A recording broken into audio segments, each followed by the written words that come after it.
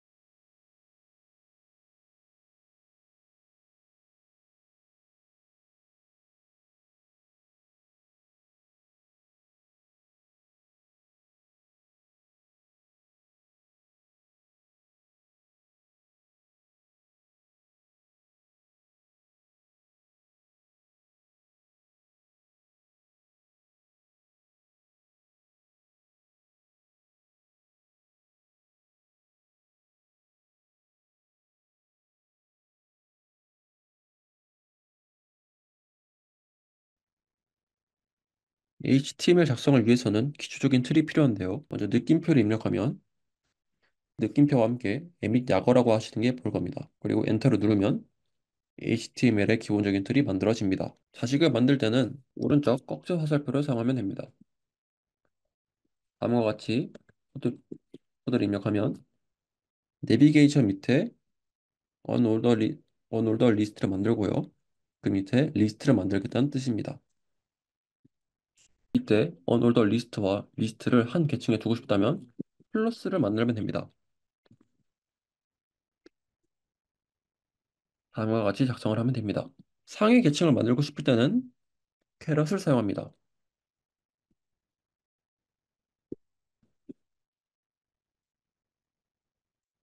방금 코드에서 li의 형제, li의 형제인 div를 만들어 주고요. div의 윗계층에 blockquote bq를 만들어 주겠다는 뜻입니다. 따라서 이 blockquote는 ul과 같은 계층에 만들어지게 됩니다. 만약 이 blockquote를 nav와 같은 선상에 놓고 싶었다면 caret을 두 개 사용하면 됩니다.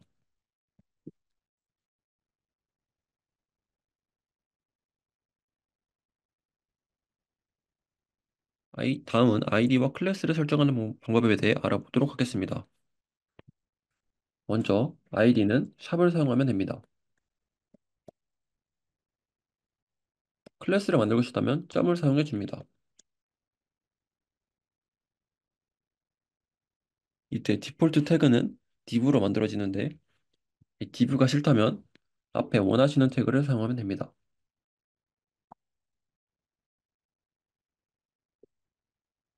클래스를 한 번에 여러 개 지정해 줄 수도 있는데요. 다음처럼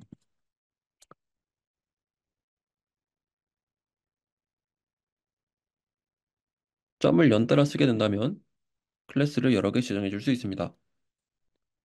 또한 꺾인 괄호를 통해 태그의 속성 또한 지정해 줄 수 있습니다.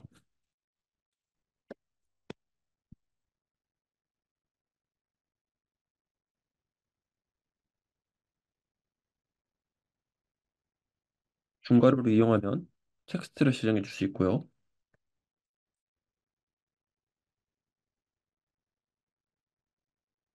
똑같은 태그를 여러 개 만들 때는 곱하기를 사용하면 됩니다.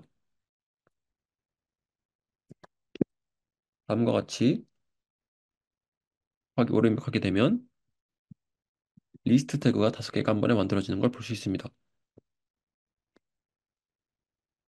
또한 단순히 li 리스트를 여러 개 만드는 것이 아니라 span 태그가 같이 있는 상태로 다섯 개를 복사해주고 싶다면 grouping을 해줘야 되는데요. grouping은 소괄호를 사용하면 됩니다. 먼저 LI랑 펜을 묶어주고요. 똑같이 5를 해주면 다음과 같이 만들어집니다.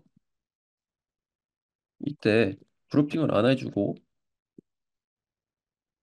바로 곱하기 5를 해주게 되면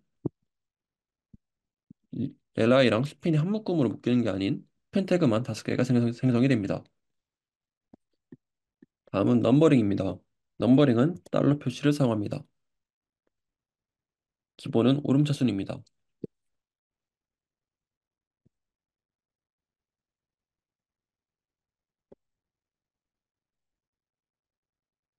내림차순으로 하고 싶다면 달러 골뱅이 빼기를 사용하면 됩니다. 방금 전과 같이 입력을 해보겠습니다. 이때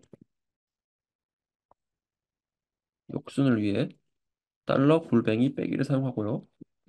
똑같이 곱하기 5를 해주면 5부터 역순으로 클래스 이름이 생성되는 것을 볼 수 있습니다. 달러 사인을 여러 개 사용하면 숫자 형식을 지정해 줄 수 있습니다.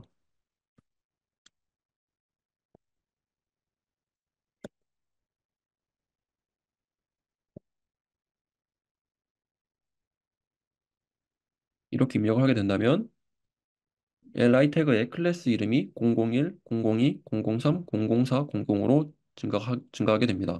이때 숫자 형식을 4개로 만들고 싶다면 달러 사인을 4개 붙이면 되고요. 숫자 형식을 2개로 만들고 싶다면 달러 사인을 2개 쓰면 되고요. 4개 만들고 싶, 4개로 하고 싶다면 4개, 5개로 하고 싶다면 5개로 하셔도 됩니다.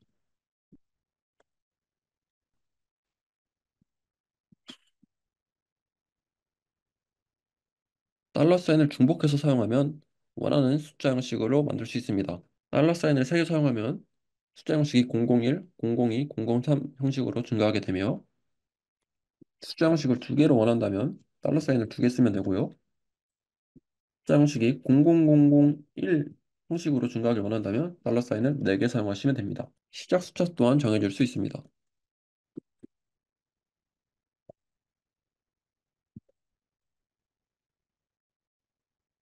다음과 같이 입력을 하게 된다면 아이템즈 숫자가 3부터 증가하게 되어 5개가 생성이 됩니다.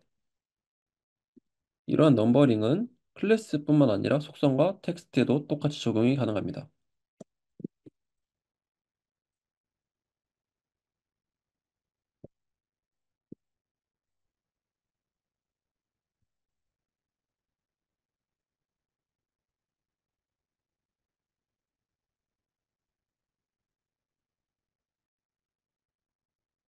리스트에 hello 속성이 1, 2, 3, 4, 5가 들어가게 되고요. 텍스트는 7부터 시작해서 3, 7, 6, 5, 4, 3까지 감소하게 됩니다. 그 외에도 원하시는 태그는 전부 다 에밋에 등록이 되어 있습니다. 버튼,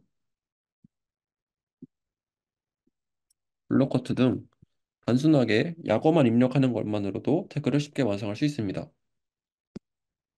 이제 CSS를 적용할 텐데요. 링크 태그가 필요합니다. 링크 태그는 다음과 같이 입력합니다. 이때 링크 뒤에 CSS를 입력하게 된다면 하이퍼링크로 style.css가 디폴트로 들어가게 됩니다. 그러면 style.css를 한번 만들어, 한번 만들어 보도록 하겠습니다.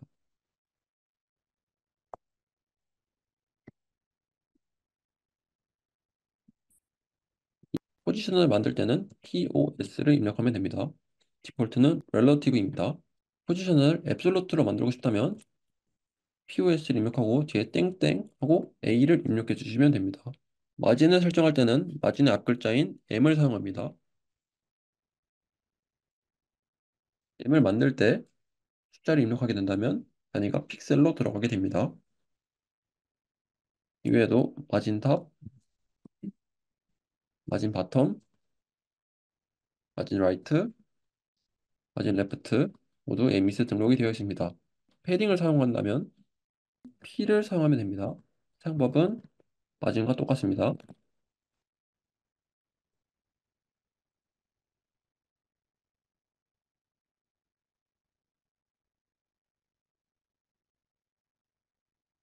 너비의 경우 width의 앞글자를 딴 W를 사용합니다.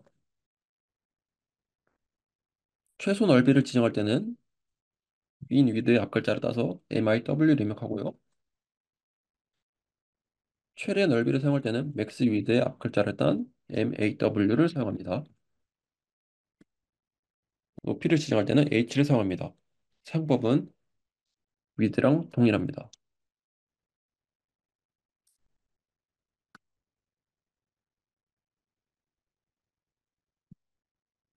폰트는 앞글자인 F를 사용합니다.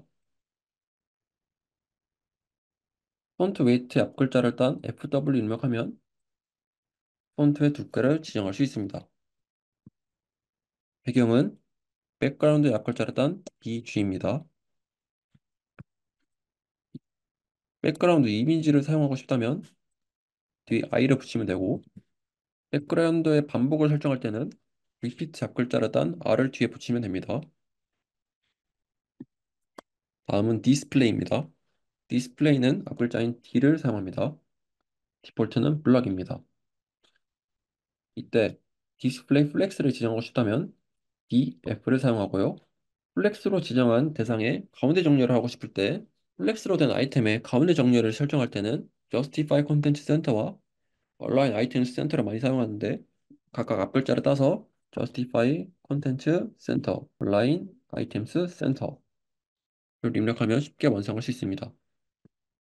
그 외에도 글자색은 컬러의 앞글자를 딴 C, 투명도의 경우 opacity의 앞글자를 딴 OP를 입력하면 됩니다. 이상으로 에밋 기초 강의에 대해 알아봤습니다. 알려드린 것 외에도 정말 많은 사용법이 있으니 에밋 치트시트를 한번 읽- 읽어보는 것을 추천드리며 영상을 마치도록 하겠습니다. 감사합니다.